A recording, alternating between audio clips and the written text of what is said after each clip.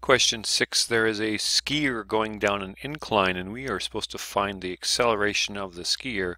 So just before we start, I'm going to um, say what my reference uh, directions are here. So I'm going to say in this case, this parallel direction is positive and there's also a perpendicular one. So down the incline it will be positive and then the direction of the normal force will be positive in the other direction. Okay, so um, we need to find the, the acceleration.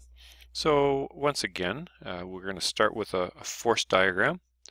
Maybe I'll put it over here. So I've got a force of gravity going straight downwards.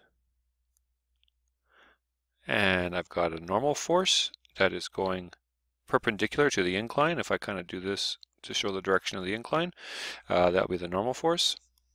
And I do have a force of friction going this direction. Uh, it makes a lot of sense to have components to that force of gravity. So the components uh, could be this direction here and this direction here. And these components do have direction. It's that way and this way. So this would be FG perpendicular and this one would be FG parallel. And these, I'm going to put some equality marks on there. By the way, uh, I will mention that you could also draw these components instead of drawing the force of gravity. You could just draw the components, and I'm going to draw here. Uh, maybe I'll do the dashed. There's my force of gravity parallel, and here's my force of gravity perpendicular. Here's my normal force, and here's my force of friction. So I can also uh, take this force here, really what I've done is taken that force and I've moved it over here. It looks like it it accidentally grew a bit in size as well. But sometimes it's a little bit easier to, to look at things and reason about them. So these two are going to be equal. And so my net force in this case is going to be equal to, well, this uh, force Fg parallel minus the force of friction. So I'm going to say F net is going to be equal to Fg parallel minus the force of friction.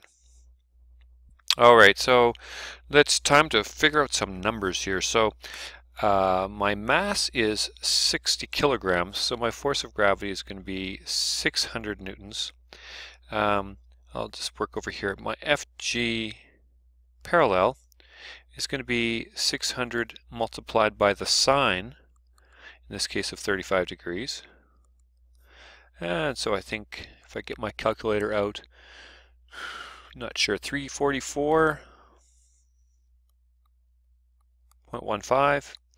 Um, my FG perpendicular is going to be equal to 600 times the cos of 35. Um, not sure what that is. Hold on. So it's 491.49 newtons. Now my normal force is also going to be that 491.49 newtons. The only difference is that it is actually in the positive direction. My force of friction, and this is really why I figured those last two out, is it's mu times the normal force. So mu is 0.08 when I multiply that times the normal force of 491. Uh, then what do I get? 39.3. So I think I've got enough information so I can go back over here and say, okay, so this will be 344.15 minus 39.3. So my net force will be, oh, I think 304.8, something like that. And I want to find the acceleration. So the acceleration is going to be equal to F net over m. So when I divide that out, I think I get 5.08 meters per second squared. Okay, great. I hope, uh, hopefully that was helpful. Thanks. I'll see you in class.